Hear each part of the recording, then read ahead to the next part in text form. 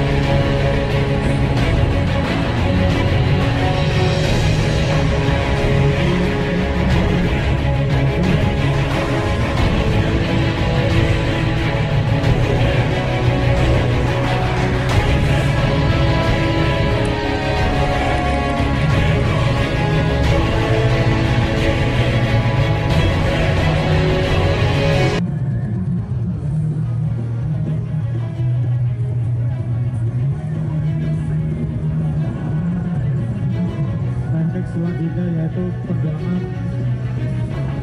kombinasi antara Paul Kocaki dan Dewi.